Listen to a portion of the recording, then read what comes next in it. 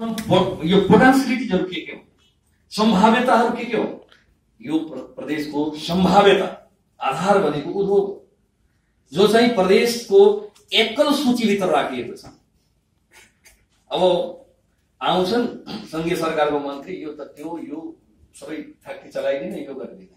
मानव कि यहाँ रैतीहरू बसेका छ राजाहरू आएर गर्छ।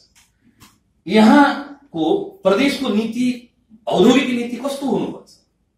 त्यो नीति तयार गर्ने यो प्रदेश सरकार र प्रदेशको नीति जुन आयोग छ तपाईँहरूलाई बडा आश्चर्य लाग्छ होला सबै ठाउँमा प्लानिङ कमिसन प्लानिङ कमिसन भनेर राखेको छ मैले भने प्लानिङ कमिसनको त युजलेस छ नो वर्क एट अल मैले प्रमुखलाई मैले भनेको थिएँ के तपाईँले बनाएको नियम त्यहाँ मन्त्रीहरू मान्छन् मलाई त लाग्दैन तपाईँहरूको मान्छ तपाईँहरू के कसरी तपाईँहरू अब यो बनाइराख्नुहुन्छ बनाउनु सहयोग गर्नु होला केही सुनिलिएपछि मन्त्री प्रधानमन्त्री भने ठिकै होला त्यसैले त्यो नाम बदनाम नाम हो त्यसैले मैले प्लानिङ कमिसन राखेको तपाईँहरूले म बताऊ प्लानिङ कमिसन अन्य इन्डियामा पनि जस्तो बिहारमा पनि छ प्लानिङ कमिसन के के पोलिसी कमिसन यो पोलिसी कमिसन हामी चाहिँ त्यो स्थापित र कामै नलाग्ने जुन एउटा संस्था बनाएर राखिएको छ त्यो संस्थालाई यदि हामी पोलिसी कमिसन बनाएका छौँ भने ठिक छ।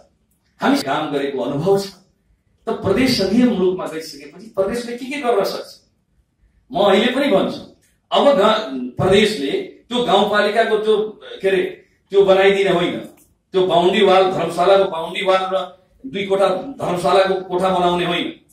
कृषिमा त्यो चाहिँ सामान्य किसिमको पोलिसी ल्याएर चाहिँ यो के अरे दुई लाख यसको चार लाख यसको तिन लाख यसको दिने होइन बन्दरबाट गर्ने होइन योजना।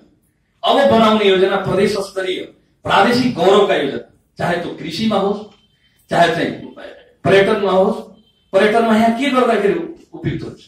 कि यहाँका धार्मिक यहाँका भिजिट के भन्छन् यहाँका पोटेन्सियलिटी भनेको यहाँका रहेका धार्मिक स्थलहरूको सर्किट बनाउने। त्यो सर्किट कसरी बनाउन सकिन्छ?